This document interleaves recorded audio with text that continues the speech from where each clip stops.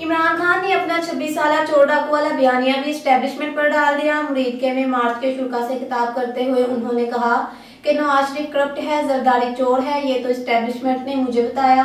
Establishment ने नवाज़ शरीफ के खिलाफ केस बनवाए। उनकी जीआईटी ने बताया कि नवाज़ शरीफ करप्ट थे। आपने ही इन लोगों के ऊपर केसेस करवाए। आपने बताया कि कितने करप्ट थे। आपकी जेआईटी ने साबित किया नवाज़ शरीफ कितना करप्ट था। आपकी आपके दौर में पता चला कि सरदारी कितना चोर है।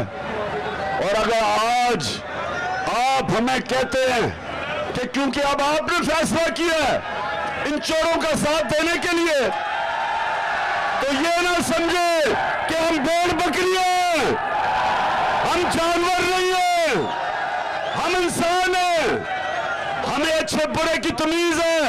अगर आप जाके इन चोरों के साथ खड़े हो जाएँगे, अवाम आपके साथ नहीं खड़ी। देख लो, अवाम किधर खड़ी है। सारी कौम इधर खड़ी है। और आप जाके चोरों के साथ खड़े होके और फिर प्रेस कॉन्फ्रेंस करते हैं। इन चोरों की हिमायत में।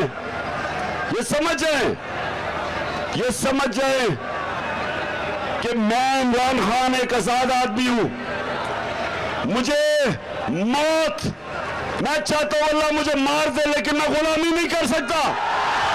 मैं चाहता हूँ हमारी सारी कौम अपनी फौज के साथ खड़ी हो। और वो इसलिए कि फौज भी मेरी है, मुल्क भी मेरा है। हिंदुस्तान के अंदर मीडिया में खुशियाँ बन रही हैं कि जी इमरान खान का और फौज का मुकाबला हो गया या तो सादम हो गया। कोई ऐसी बात नहीं है। हम अपनी फौज के साथ खड़े हैं। लेकिन हम जब तनकीद करते हैं तमीरी तनकीद है।